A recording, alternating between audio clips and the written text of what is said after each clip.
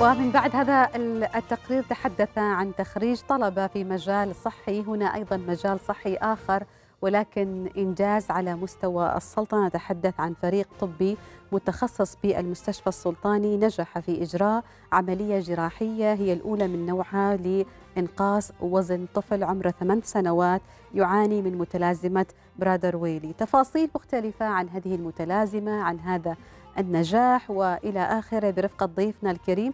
نرحب باسمكم مشاهدينا بالدكتور محمد بن سعيد العبري استشاري جراحة السمنة والجهاز الهضمي العلوي بالمستشفى السلطاني. مساكم الله بالخير دكتور محمد. نبارك لكم هذا الإنجاز. مساء النور. شكرا. شكرا على الاستضافة. ذكرت في حديثي بأن الطفل يبلغ من العمر ثمان سنوات ويعاني من سمنة مفرطة نتيجة متلازمة برادر ويلي. نتحدث عن هذه الحالة الصحية للطفل. نقرب للمشاهد الكريم تفاصيل.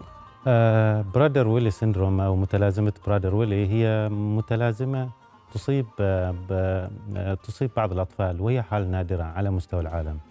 الطفل اللي يعاني من هذه عنده مشكلة في مشكلة جينية نعم. بحيث إنه ما عنده ما عنده شعور بالشبع. شراهه مفرطة للأكل بحيث إنه ياكل وتكون تأثيره وهو في عمر صغير. آه كتأثير إنه ماشي ماشي كنترول أو ماشي آه آه الشهيه تكون مفتوحة ياكل باستمرار. ياكل نعم. ياكل ياكل لحد ما يزيد الوزن. ويزيد الوزن لدرجة إنه ممكن تأثر تأثير سلبي عليه. تظهر مشاكل نتيجة زيادة الوزن سواء على ال على ال المش المشاكل أيضا مشاكل جسدية وفي النهاية مشاكل نفسية.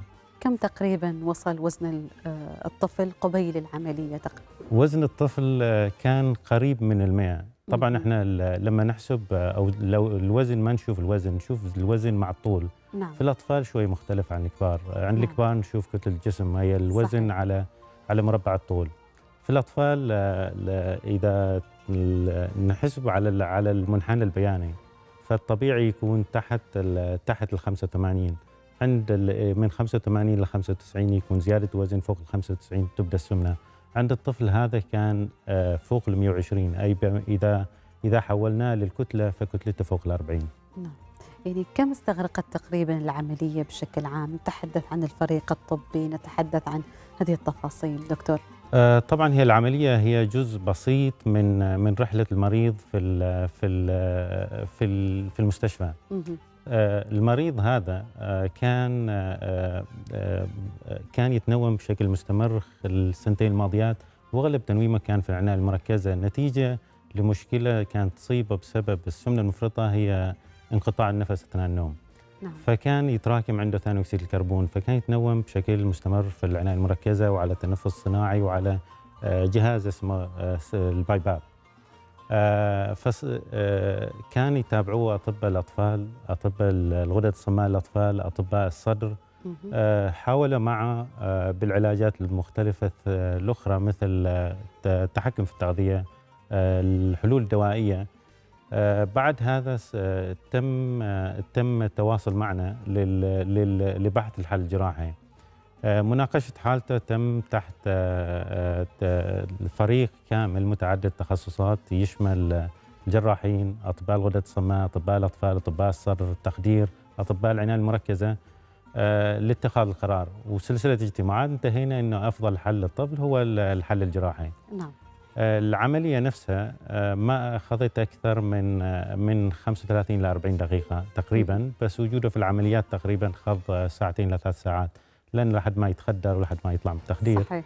لأن المشكلة الرئيسية عنده كان هي مشكلة الصدر ومشكلة النفس. بعد العملية قضى حوالي 24 ساعة في العناية المركزة رغم أن توقعنا كان أنه ممكن يبقى هناك لفترة أطول وكان خوفنا أكثر من المشاكل التنفس بعد العملية مم. الحمد لله قضى 24 ساعة بعدها الجناح وبقى في المستشفى حوالي أربع أيام نعم طبعا تهيئة المريض كان أو تهيئة أهل المريض كان أكبر أو تحدي. أكثر خطوة أو أكبر تحدي لأنه تجهيزهم للعملية القاب وتقبلهم نفسهم للأهل للعملية ومتابعة المريض بعد العملية وتهيئة الأسرة نفسيا وتهيئة المريض نفسيا وصحيا صحيح. للعملية نفسها. صحيح، يعني نحن ذكرنا في حديثنا بانه هذه العملية آه لأول مرة في السلطنة تحدث، نتحدث عن فئة الأطفال أو لم يعني ما سبق وعملتوها لفئة الكبار؟ آه، عملية طبعا مشابهة؟ عمليات آه، إنزال لل- للبالغين أو الكبار عملية منتشرة سواء في السلطنة أو خارج السلطنة ممكن أقول تقريبا في الأسبوع ما بين القطاع العام والخاص ما أقل من من 15 إلى 20 عملية في ال في ال في السلطنة. آه، العمليات مختلفة. آه، تجرى الكبار. آه، هذه أول عملية في فئة الأطفال في السلطنة. بدأت العملية الأطفال أو إنزال الوزن الأطفال في العالم بشكل عام آخر 10 أو 12 سنة. مهم. آه، بعض الدول لا زالت في بدايتها وممكن هذه أول عملية معنا. وفي حالات كثيرة تستدعي التدخل الجراحي وبدينا نناقشها بعد بعد ما بعد ما أجرينا العملية نعم. الأولى. هل ممكن أنه نقرأ بأنه نجاح هذه آه، العملية يعزى إلى نجاح استجابة الجسم للجراحة بشكل خاص دكتور؟ طبعا هي فكرة العملية أو فكرة نجاح العملية يعتمد على الأسباب أو النتائج ال- اللي اللي ننتظرها منها. فالعملية اللي أجريت للطفل كانت عملية تكميم الفكرة من التكميم هو تقليل حجم المعدة من شكلها جاية كأنها بطيخة لحاجة مثل موزة. ممكن يصير القص تقريبا 75 ل 80% من حجم المعدة. فكره منها تقليل كمية الأكل زائد في أشياء تفرز من الجزء المستأصل مثل هرمون الجوع فما. فالمريض ما يحس ما يحس بالشبع ما يحس بال... ما يحس بالجوع ويحس شبعان بشكل مستمر. فهذا يساعد على. بيساعد على. على تقليل الشهية عنده ويساعد على تقليل كمية الأكل اللي يأكلها. نعم.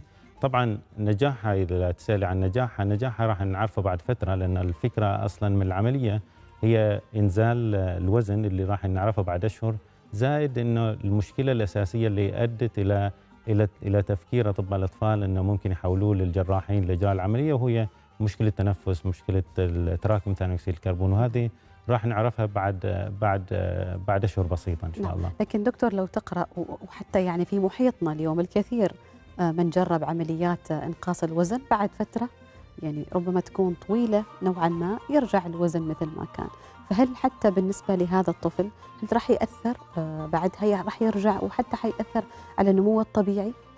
آه، بالنسبة لرجوع الوزن بعد العمليات في آه، كأسباب لها يعتمد أول شيء على نوع العملية على المريض نفسه. في أسباب تعزل العمليات للعملية أو للجراح. فكل عملية لها نسبة رجوع للوزن مختلفة. كتكميم ممكن أقول لك 20 اثنين من كل عشرة آه، ممكن يرجع جزء أو كل الوزن. في التحويل مسار 8% ففي أسباب بعد من الجراحين. بس في أسباب ثانية تعزل المريض. التزامه والتزامه ما بعد العملية جزء مهم من العملية فالمريض إذا كان ما مستعد نفسيا آه، إنه يدخل لل- للعملية والمتابعة بعد العملية والالتزام بعد الإجراء الجراحي الافضل إنه ما يسويها مم. لأنه لأنه الالتزام مهم بعد العملية والعملية هي ما ما هي إلا جزء من رحلة المريض في. إنقاص الوزن.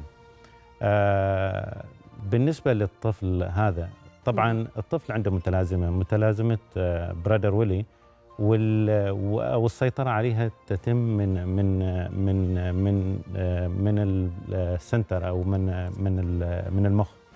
آه، مسألة رجوع الوزن عنده مقارنة بالأطفال الثانيين اللي يجروا هذا النوع من العمليات ممكن نسبة شوية زيادة آه، مقارنة بالأطفال العاديين اللي يتم عندهم عمليات إنزال الوزن بدون المتلازمة هذه.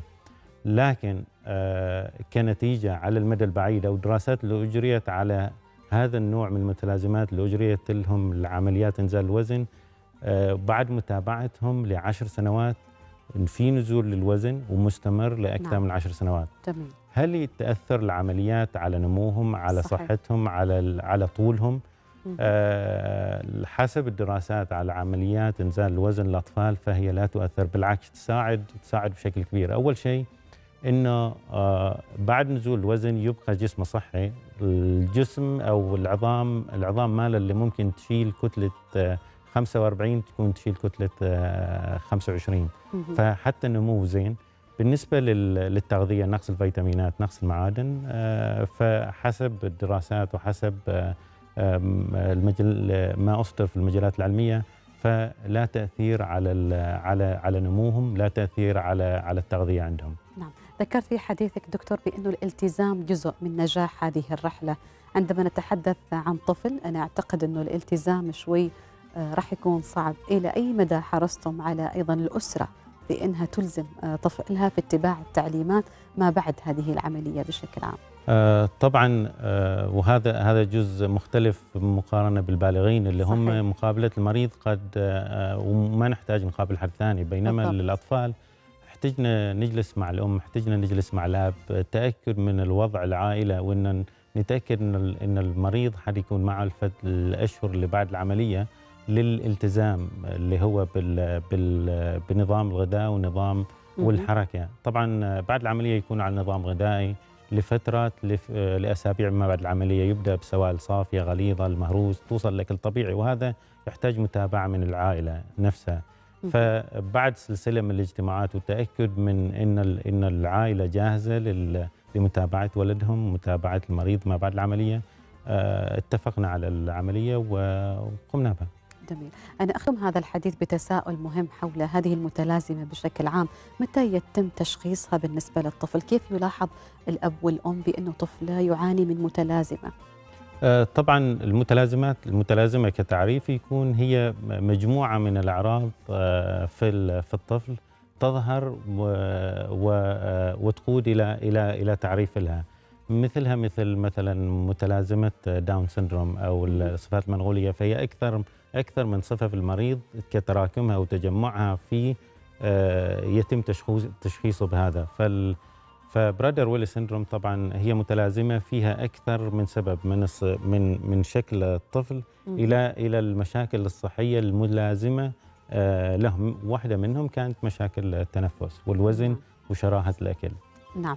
يعني نسأل الله سبحانه وتعالى أن يعافينا ويعافي الجميع. شكرا لك دكتور نبارك لكم هذا النجاح.